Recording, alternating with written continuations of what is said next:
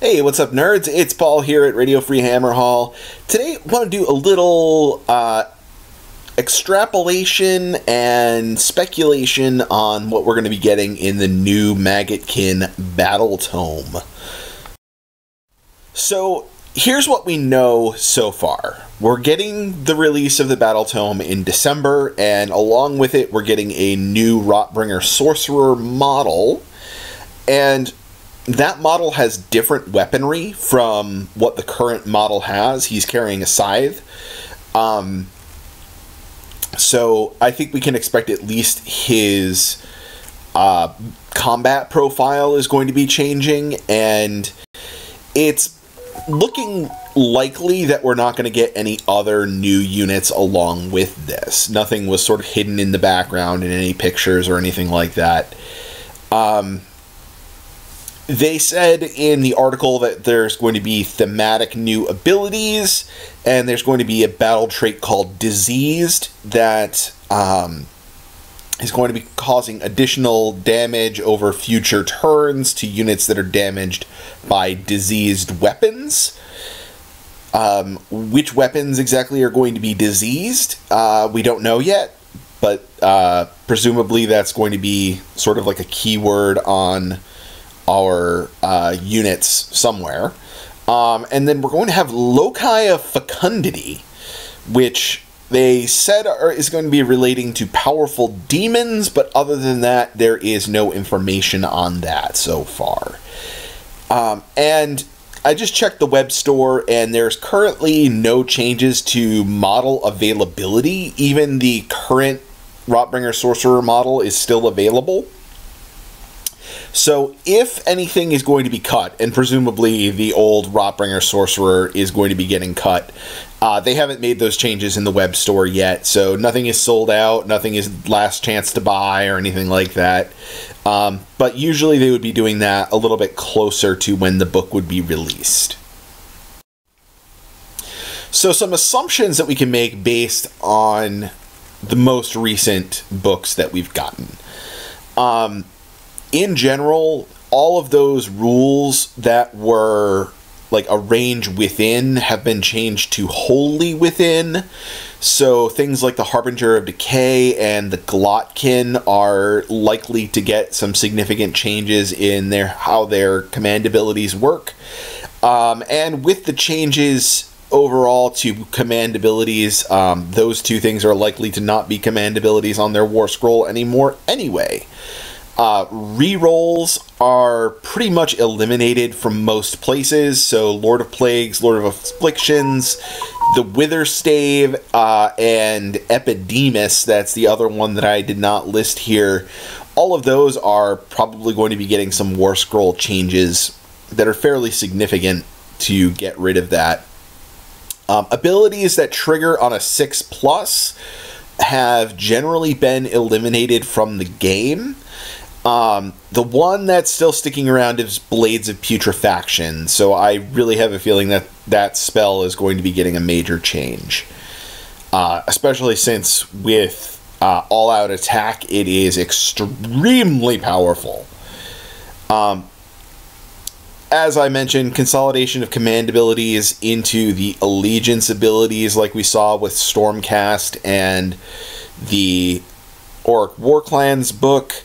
So, uh, really having no command abilities on War Scrolls and having them really just sit in your allegiance abilities, which I think is not too big of a deal because a lot of the command abilities that Nurgle had were pretty straightforward ones, and I think there were a lot that were not very good. So I think this is not really necessarily a negative change.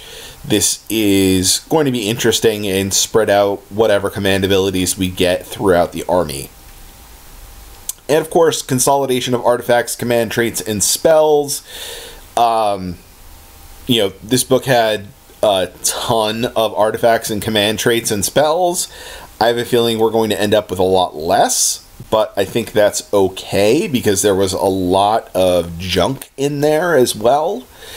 Um, and I think overall, some command abilities that we currently have are just going to become other War Scroll abilities that are just sort of always on.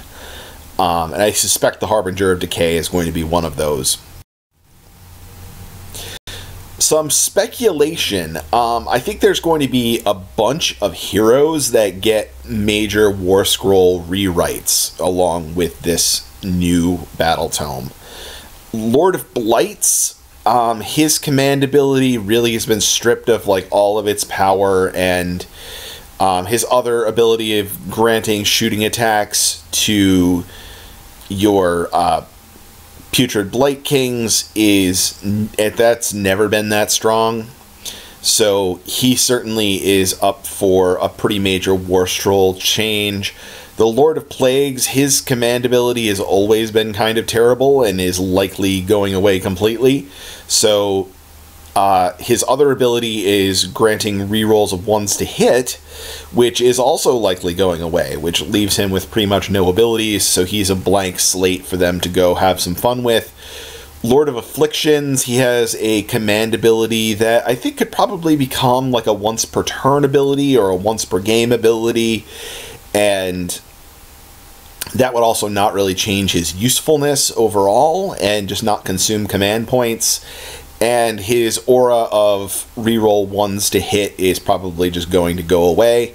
Harbinger of Decay, I suspect, is going to turn into an aura that's always on. Uh, Epidemus, like all of his abilities were rerolls for the most part. So I have a feeling we're going to get um, probably a more powerful Epidemus. I think we're going to see the same sort of pattern continue to exist with his abilities, where you know as things die, his abilities go up, um, and that'll affect the whole table or a big aura around him. But I think in general, we're going to see some changes to um, what those abilities actually do, and they're probably going to be more powerful than they were before because Epidemus, as currently written, is Garbo. Uh, the Maggoth Lords, I think they are really up for um, some potential rewrites. Orghotts has a good command ability, um, but command ability is likely going away. Morbidex, he needs to do something better with Nurglings than what he currently does. I think the one that's probably most likely to stay similar to what he currently is is Bloab. His spell is really thematic with this whole idea of attrition and spreading disease that seems to be the theme that they're really harping on with this new book. Um, the recently changed War Scrolls, so Sloppity Piper, Spoilpox Scrivener, and Beast of Nurgle, I don't expect those to get changes. If they do get changes, I would expect them to be pretty minor. Um, those are also, I think, templates for what we're going to be seeing in other heroes potentially. Um, maybe the Lord of Blights and Lord of Plagues being sort of the mortal versions of uh, those two heroes. Contagion and summoning, I have a feeling we're going to be seeing a major change to that. Um, I can't predict necessarily what that major change is going to be, but I feel like it's pretty safe to say that the way we're going to earn contagion points is going to change, and certainly our summoning table is going to change quite a bit because current summoning for Nurgle is really not that good. Summoning overall has become a less powerful thing in the game, but I think Nurgle is still subpar with how their summoning works. I think the cycle of corruption is just going to be going away. Um, you know, even if it stuck around, it would have to change. Um, the pre existing cycle of corruption is really hard to work with if you didn't get that wheel out of Blight War, and there's only so many of those to go around. Um, if they kept that mechanic, they would probably have to reprint a new one. I don't really see them doing that. It was always sort of kind of a weird mechanic, and it's really hard to use if you don't have that tool. And I feel like they don't want to necessarily have a tool like that become sort of like mandatory to play an army. Um, and I think the hosts that we have, I think we're basically going to keep the same hosts, maybe add a couple of additional ones, but I think we're going to get some major rewrites as to how they actually operate. And based on other uh, changes that we've seen so far in third edition battle tomes, they're not going to have locked in artifacts and command traits. They'll be more narrow and have stripped down abilities compared to. Uh, how heavy-handed hosts were in the past, sort of just giving you uh, one extra ability.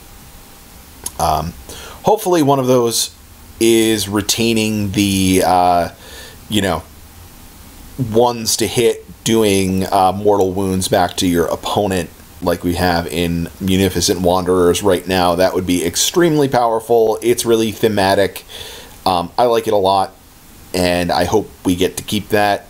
Um, ignoring Rend seems like a thing that would probably still stick around. And for like the Blessed Sons and Drowned Men ability to uh, have your units kind of blow up and do mortal wounds when they die, that also seems like one that's likely to stick around. So uh, we do have some other options of things we can do. There's plenty of places to explore in the Garden of Nurgle, but that's about it that I have for right now. As always, thanks for watching. Like, subscribe, turn on notifications, support us on Patreon, and join us on Facebook and Twitter. I'm out. See you guys later.